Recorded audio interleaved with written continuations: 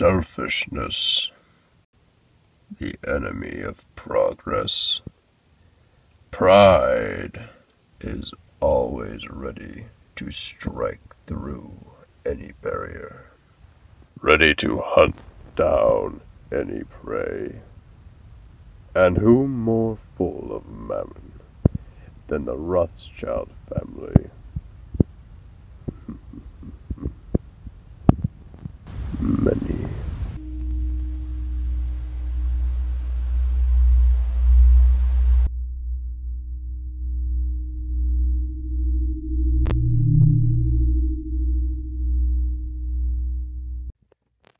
The Rothschild family is presumed to have begun in Frankfurt, Germany, by Isaac Elchanan Bacharach in Frankfurt in 1567. The meaning of the name is Red Shield, and stands on the coat of arms to this day. However, the family did not begin to acquire great wealth until 1744, when perhaps the greatest entrepreneur of all time devised a plan. His name was Mayer Amschel Rothschild, and the only reason you recognize his name is because of the rags to riches tale he has. Mayer was born to Amschel Moses Rothschild in the Judengasse, or the ghetto of Frankfurt. Yes, you see Mayer was actually just a name. Amschel was a money changer who one day had the opportunity to trade money with the Prince of Hesse. Mayer would become a court factor for the German landgraves of Hesse-Kassel in the free city of Frankfurt, Holy Roman Empire, of 1760. This simply means he would help manage funds for the government.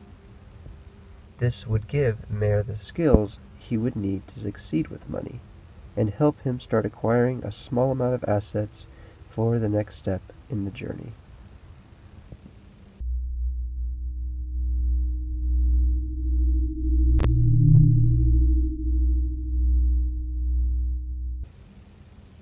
Mayer set the stage for the Rothschild values of charity and discretion.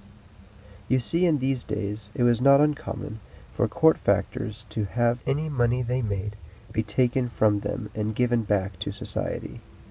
But because of his discretion, Mayer was able to sequester the small amount of money he made and start up his business as a small bank of the community. And using the skills he learned as a court factor, he was able to grow his bank and teach his five sons the skill of banking.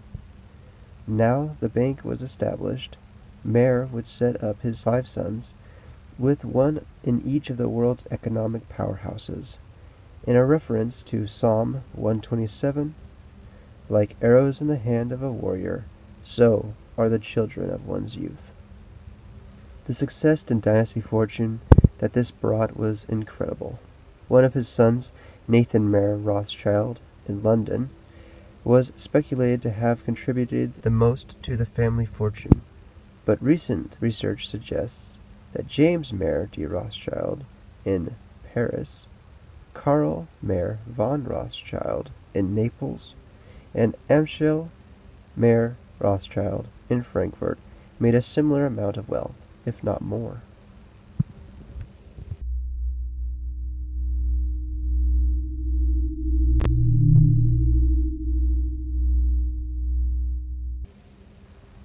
Unlike the court factors of earlier centuries, who had financed and managed European noble houses, but often lost their wealth through violence or expropriation, the new kind of international bank created by the Rothschilds was impervious to local attacks.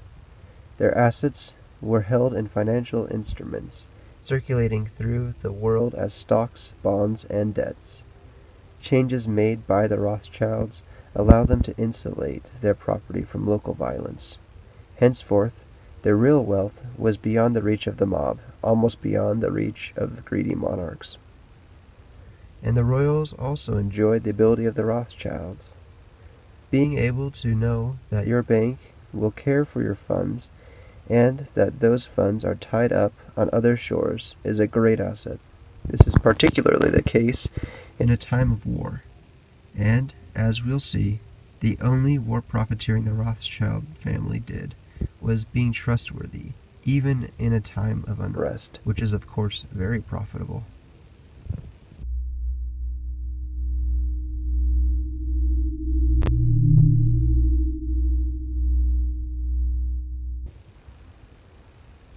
Entering the Napoleonic Wars, the Rothschilds were invaluable. Truth be told, though, the family had acquired a vast amount of wealth beforehand. The family had by this point developed its own state of the art way of correspondence. It was so sophisticated that they knew the result of the Battle of Waterloo a whole day before the British government intelligence messengers arrived. With the information in hand, the family stuck by one of their key values and with integrity, the first concern was not to the potential financial advantage on the market which the knowledge would have given them. Rothschild and his courier immediately took the news to the government. They then bought up all the British war bonds, which appreciated greatly as peace began. By this point, the Rothschilds were elevated to nobility because of their assistance in multiple countries.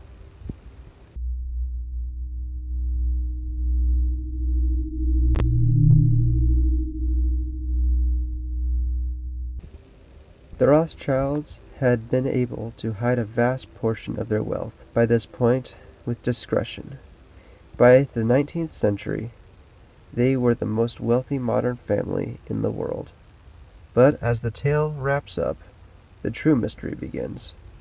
The Rothschilds have donated incredible fortunes to charity and continue the practice to this day. And it's not just money the family has donated, but since they had one of the largest private art collections in history, they have donated many pieces to public museums. Art is a good example. They kept the pieces safe during unrest by purchasing them and then gave them to the people, usually completely anonymously. It is a marvel that investigators have been able to find out some of the family's deeds. Who knows how many more are hiding from public eye? They have even liberated entire nations, such as Brazil, by granting the country a cheap loan to peacefully cut ties with Portugal, with a treaty negotiated by the family for Brazil. Paul Johnson writes, The Rothschilds are elusive. There is no book about them that is both revealing and accurate. Libraries of nonsense have been written about them. A woman who planned to write a book entitled Lies About the Rothschilds abandoned it, saying, It was relatively easy to spot the lies, but it proved impossible to find the truth. I have not the nerve for his operations. They are well planned, with great cleverness and adroitness in execution. But is in money and funds what Napoleon was in war. Baron Berry on Nathan Rothschild.